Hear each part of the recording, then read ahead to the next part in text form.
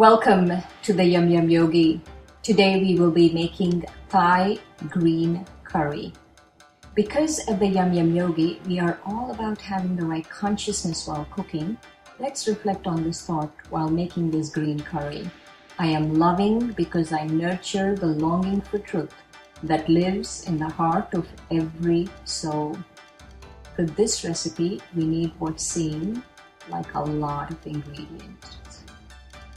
But they're not that bad. Once you gather them all together, we need half a cup fresh coriander stems and leaves, four to six kaffir lime leaves. You get these in the Oriental store.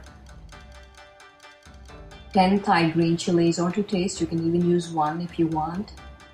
1 tablespoon galangal powder and 2 tablespoons lemongrass powder.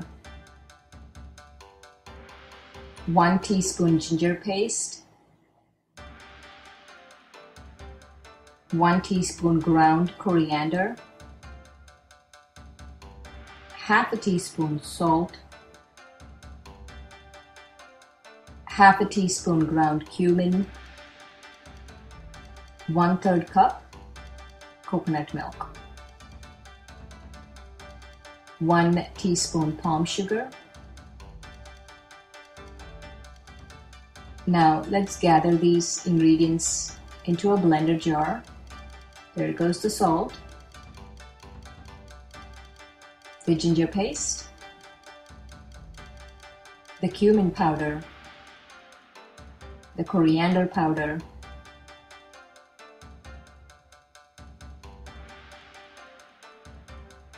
cilantro leaves and stems, kaffir lime leaves,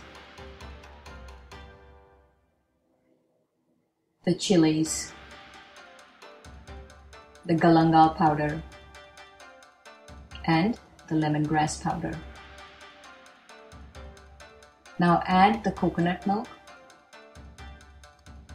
We need about half a cup of fresh basil leaves for the curry paste, but the basil leaves have to be blanched. Just blanch them in boiling water for about 20 seconds, not too long, just 20 seconds.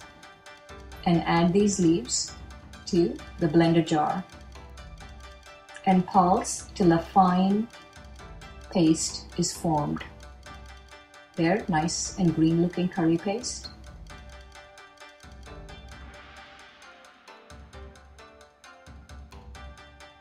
For this recipe, I'm going to use carrots and other vegetables. You can use whatever vegetables you want. I'm using carrots, one and a half cups of green beans,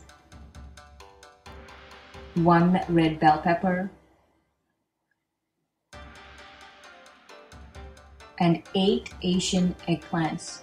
These Asian eggplants are usually used in green curry.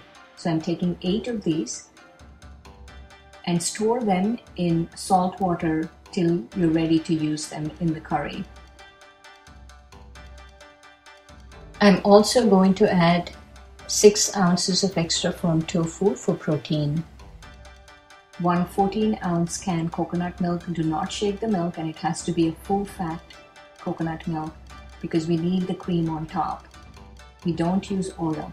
We take a heavy bottom saucepan, put it on medium high heat, and take about 2 tablespoons of cream of coconut milk and 1 4th of a cup Thai green curry paste and saute the paste in the coconut milk for about a minute.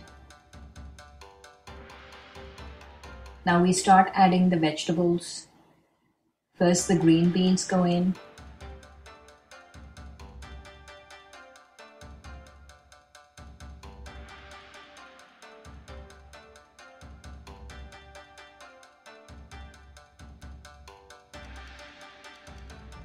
The red bell pepper, the carrots, and the tofu. Take the Asian eggplants out of the water the salt water and add them in.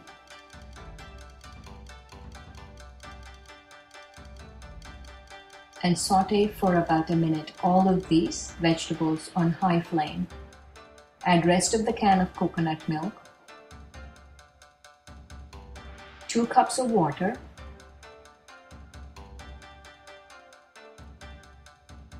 Cover, reduce the flame, and let simmer for about 5 to 7 minutes till the vegetables are just about done. Don't let them get overcooked. Add 1 teaspoon miso paste and 2 teaspoons mirin. Blend very well and add to the cooking curry. At this point, you can add about 1 tablespoon palm sugar. Switch off the heat. So now if the vegetables are done, switch off the heat. Add salt to taste and juice of one lime. Serve with rice. I'm using black rice here.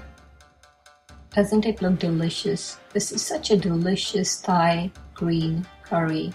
But before we eat it, let's reflect on this thought I am loving because I nurture the longing for truth that lives in the heart of every soul.